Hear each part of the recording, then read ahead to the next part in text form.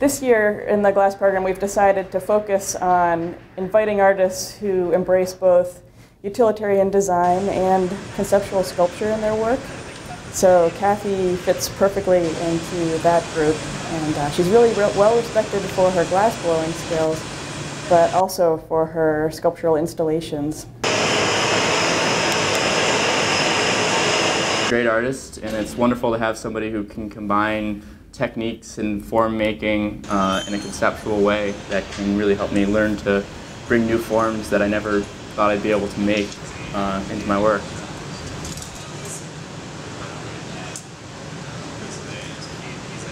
She's really involved. She's doing demos and critiques and stuff, and um, really good technical blowing skills. So it's really exciting to see that in the hot shop and like be able to have her advise you on different techniques and things. And like it really learns a lot. It's great to have that opportunity as well.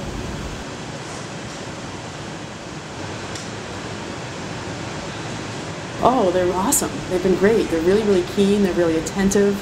Um, you know, they're already, you know, I mean, there's varying uh, levels. So certainly some students are really, really skilled. Some students probably can make things better than I can make them. Um, and then there's other students who are just sort of starting to see like some of the, these things for the first time that you know might be sort of broadening their horizons in terms of what they think they might want to do with the material. Um, so, and there's a, quite a range of what people, you know, gravitate to in terms of their own ideas and how, what they want to do with the material. So that's always really interesting to me. I mean, they're pretty high caliber students here, so it's, you know, it's like talking with peers when you are meeting with them to sort of discuss their work.